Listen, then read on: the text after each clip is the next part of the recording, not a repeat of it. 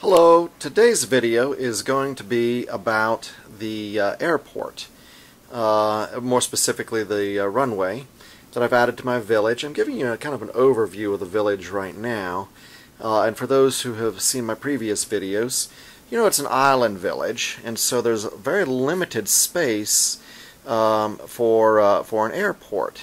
Uh, actually, it's a series of two islands here, connected by uh, of course, the London Bridge, which I've been I've modified to uh, include the railroad tracks. I wanted to have a transportation hub uh, on on the island, which kind of combined everything. And you see, we have the subway here, which will pop out on the other side, on the reverse side of the island, onto a train trestle, which is what we've got here. And it comes around and goes into the mine to kind of help with the uh, mining operations a little bit. Pops out on the other side. Goes into the subway a little bit longer and then you can go either around or across the bridge depending on what we switch and then over to where I want to build my transportation hub and it'll include uh, not only the road, which comes across there, but the rail uh, and the airport. So, before I did a lot of that, I decided I needed to get in a, a uh, runway for the airport, and that's what you see right here. And I'll give you a better view here. It looks like we're getting a little bit of a glare.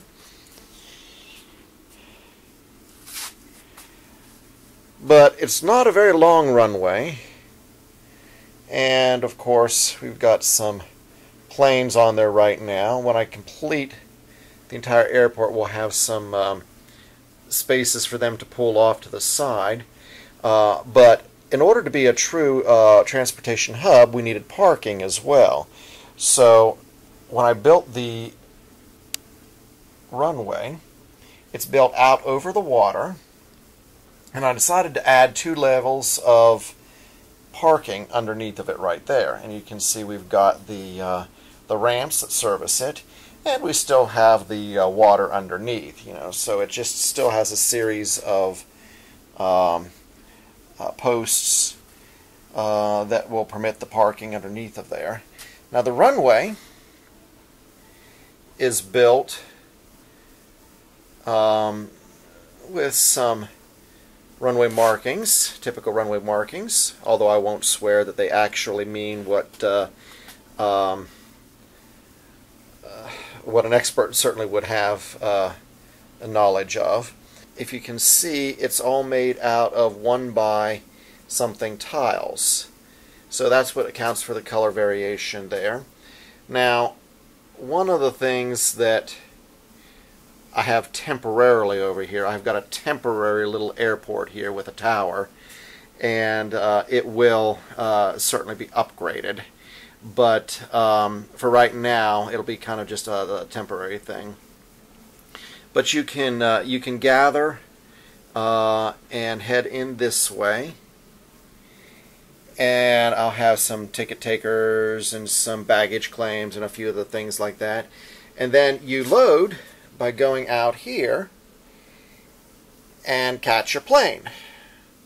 So uh, I've certainly got some improving to do there, uh, but that's kind of the concept.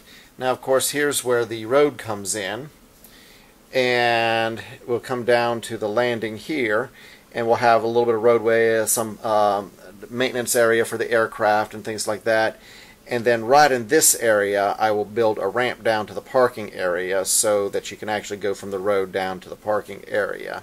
So it's certainly a work in progress and when it's done this will be the train facade of the uh, uh, transportation hub down there and it will be uh, I've experimented with maybe designing some shopping down in that area and so forth. I'm not sure how much room I really have for everything.